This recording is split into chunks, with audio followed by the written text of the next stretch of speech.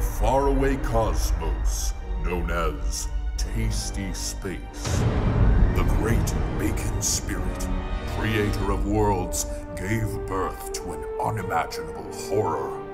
The fiery chaos, sparked by the spirit's flames, gave life to Bacon Man. His destiny as the king of meat was without a doubt a legacy in the making. On one fateful night, while Bacon Man was playing croquet, one of his most loyal henchmen, Jimmy, delivered grave news to him.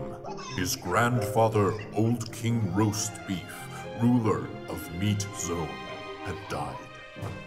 Naturally, the sad and grieving Bacon Man was next in line for the throne. Not that, uh, that was his, uh, top priority or something.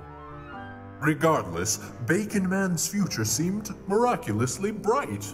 Without a doubt in his mind, he was going to be the Meat Throne's successor. That was until the rulers of Nomround decided that Bacon Man was the one that killed the old king roast beef.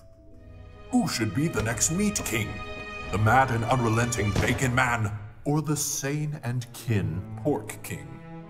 Finally, the gracious Food Kings granted the throne to Pork King instead of Bacon Man, as a way to keep the meat growth in check, and to maintain a powerful ally.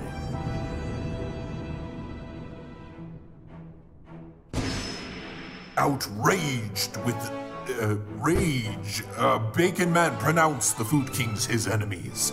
His revolt was a way to reclaim his throne and stop the tyranny once and for all. Unfortunately for him, killing your own grandfather is frowned upon. Even if you yell, I didn't do it, over and over again.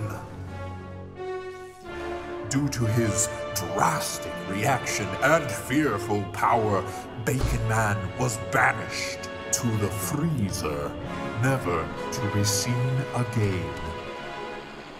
The Bacon Man problem was long gone, and the Food Kings were finally at ease as their plans to rule Nomround could not be spoiled by Bacon Man anymore. But perhaps they were a tad careless.